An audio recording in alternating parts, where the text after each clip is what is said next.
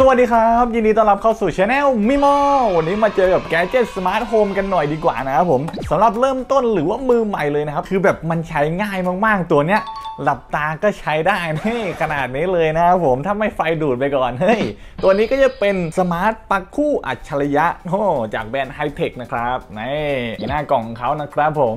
ข้างกล่องก็จะ work with Google Assistant ด้วย มีไฟสถานะใช้งานง่าย ตัวนี้นะครับผมรองรับไฟ 10 แอมป์ 220 โวลต์ นี่ตัวนี้เลยนะครับ เอ้ย อ้าว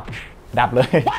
อะมันใช้งานง่าย เอ้ยชึบปุ๊บปั๊บนะขนาดถอดออกมาตรงนี้เลย นี่ก็จะเป็นตัว product ของเรานะ แกะกล่องออกมาเนี่ยก็จะมาเจอกับตรงนี้เลย จุดเด่นอีกอย่างหนึ่งเลยก็จะเป็นซ็อกเก็ตตรงนี้นะ ก็คือแบบว่าเด็กๆเนี่ยเอานิ้วไปแหย่ แล้วก็ไม่โดนไฟดูด แล้วก็ด้านบนเนี่ยก็จะมีตัวไฟแสดงสถานะด้วยนะ ถ้าเกิดว่าเราใช้งานเนี่ยส่วนด้านข้างก็จะมีปุ่มเปิดปิด หรือว่ากดค้างเพื่อทำการรีเซ็ต Wi-Fi ได้อีกด้านหนึงเนี่ยก็จะมี Type C แล้วก็จะมี USB ทั่วไปตรงนี้ ใช้ในการชาร์จมือถือได้ทั้ง 2 อันเลยนะ ส่วนด้านหลังตรงนี้ก็จะมีตัวสายกาวแล้วก็จะมีสาย N สาย L ปกติ แต่ก็เสียบเสียบไปได้เลยนะครับผมส่วนตัวสายกาวเนี่ยสามารถถอดออกมาได้เพื่อใครเนี่ยเป็นปลั๊กแบบเก่ามีแค่ 2 รูนะครับผมก็เสียบไปได้เลย แล้วก็ตรงนี้อะเอาออกมาได้ง่าย ๆ เลยไอ้ตัวเนี้ยมันนูนมาเยอะแน่นอนเวลาเราเสียบใช้งานเนี่ยแต่ไอ้ตรงตัวอันเก่าอะมันก็จะมีซ็อกเก็ตอยู่เวลาเราเอาตัวนี้ไปครอบอะมันก็จะพอดีเลยนะครับผมอะเดี๋ยวไปดูกันอีกทีนึงใส่กลับเข้าไปก็ง่าย ๆ แบบนี้เลยนะครับสายกาวก็หมุนเข้าไปได้เลยใช้งานก็ไม่มีอะไรนะเนี่ยมันสามารถเอาไอ้ตัวเนี้ยไปครอบกับตัวซ็อกเก็ตเก่าอะแล้วก็เชื่อมต่อผ่านแอป เปิดปิดผ่านแอปตั้งเวลาได้ ตัวนี้นะครับผมใช้ผ่านแอป i h i t e c h หรือว่าจะใช้กับแอป Smart Life ไปดูพร้อมกันเลย ใช้งานกันก่อนเลย ตรงนี้นะครับผมปุ๊บอ่ามาเรียบร้อย ก็จะเป็นตัวแอปนี้เลยนะครับผม i h i t e c h สีแดงนะ ด้านขวามือกดเข้าไป เราเชื่อมต่อไปแล้วนะ แต่ถ้าเกิดว่าอยากจะรีเซ็ตเนี่ยก็แค่กดปุ่ม power ค้างเอาไว้ ให้ไฟข้างหน้าเนี่ยมันกระพริบนะแค่นั้นเองง่ายๆเลยเนี่ยถ้าเกิดรีเซ็ตแล้วมันก็จะ pop up โชว์ขึ้นมาให้เรา add ได้อัตโนมัติเลยหรือว่ากดปุ่มขวาบนบวกก็ได้ แล้วก็ตรงนี้ auto scan ก็ง่าย ๆ แบบนี้เลยนะครับผมมาลองใช้งานดูกันหน่อยดีกว่าเนี่ยอันแรกใช่ไหมกดเข้าไปเลย มันจะมีปลั๊กด้านซ้ายด้านขวานะนี่น่าจะแบบนี้ปุ๊บ อ่าโอเคผิดด้าน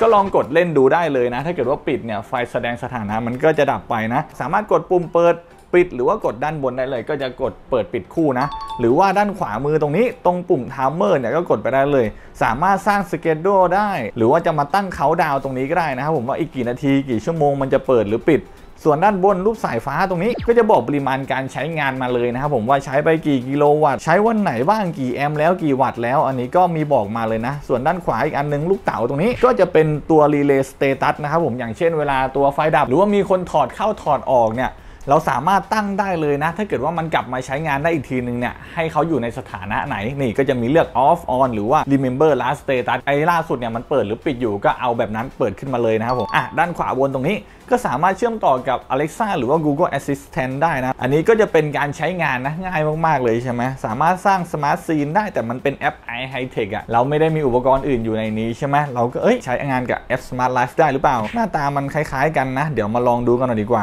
มาแล้วนี่จะเป็นตัว Product ของเราใช่ไหม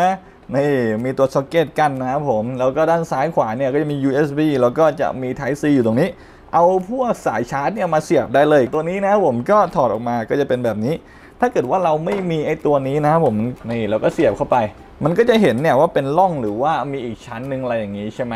อะเราก็เลยมีตัวนี้มาทำให้มันสวยงามขึ้นอีกนิดนึงนะเผื่อไม่เห็นภาพปุ่มเปิดปิดใช่ไหมมาลองใช้กับแอป Smart Life ก็ให้ทำการกดค้างเพื่อทำการรีเซ็ตนั่นเอง หรือว่าจะไปกด delete อันเก่าก็ได้ Okay. อ้าว เรียบร้อย เข้ามาในแอปเลยนะครับผม Smart Life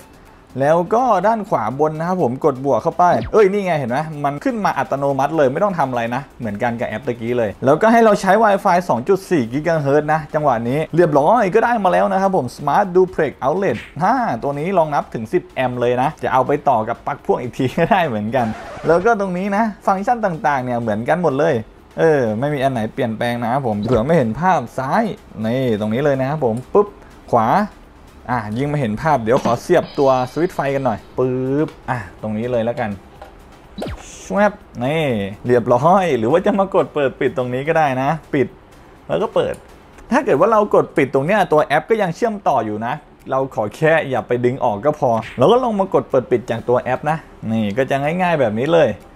ใช้งานง่ายไหมเหมือนกับ smart plug อะประมาณนี้เลยนะครับผม คือแบบอยากเริ่มต้นสมาร์ทโฮมแต่มันจะนูนมาหน่อยนิดนึงนะ ขอปิดไปก่อนดีกว่าปึ๊บ เป็นไงกันบ้างครับผมสำหรับ smart plug เอ้ยไม่ใช่ smart ปลั๊กคู่นะเขียนมาเลยนะ smart ปลั๊กคู่เขาก็ใช้งานง่ายมากๆเลยนะ ก็คือสามารถเสียบไปเนี่ยแล้วก็เชื่อมต่อกับมือถือ ตัวนี้ไม่จำเป็นจะต้องใช้ hub นะครับผมก็คือเชื่อมต่อกับ Wi-Fi นั่นเอง อยู่นอกบ้านก็เปิดปิดได้ขอแค่เราเปิดเราเตอร์แล้วก็เชื่อมต่อเน็ตเอาไว้ก็พอนะ แล้วก็สามารถใช้งานกับพวกอุปกรณ์สมาร์ทโฮมชิ้นอื่นๆ ได้อย่างเช่น พวก door sensor window sensor หรือว่าพวก motion sensor ต่างๆเนี่ยแบบว่ามีคนเปิดประตูก็ให้ไฟมันเปิดปิดอัตโนมัติอะไรอย่างนี้ได้หมดเลย ปกติแล้วเราก็จะใช้กับพวกพัดลมนะแบบว่าเปิดปิดจากมือถือ หรือว่าใช้ตัวสวิตช์ต่างๆเนี่ยในการกดแล้วก็ให้มันเปิดปิดทีเดียวนะ ในส่วนของราคาเนี่ยตัวนี้ก็จะอยู่ที่ 990 บาท ก็จะเป็นแบรนด์จากไทย ก็อยู่ในช่วงกลางๆนะแต่ข้อดีก็คือเขามีพอร์ต USB แล้วก็มีพอร์ต Type C มาด้วย มันก็จะสะดวกสบายขึ้นนั่นเองแล้วก็สามารถเชื่อมต่อกับ Google Assistant หรือว่า Alexa สามารถสั่งงานผ่านเสียงให้กับเปิดปิด Socket 1 2 หรือว่าแล้วแต่เราตั้งชื่อเอาไว้ได้เลย ในส่วนของข้อมูลเพิ่มเติมเดี๋ยวทิ้งเอาไว้ใต้คลิปตรงคำบรรยายเลยนะครับ วันนี้ก็ขอขอบคุณทุกคนที่กดไลค์เป็นกำลังใจให้ด้วย ถ้าเกิดไม่อยากพลาด gadget เจ๋งๆแบบนี้ก็อย่าลืมกดติดตามแล้วกดกระดิ่งแจ้งเตือนเอาไว้เลยไว้เจอกันใหม่คลิปหน้าสวัสดีครับบ๊ายบาย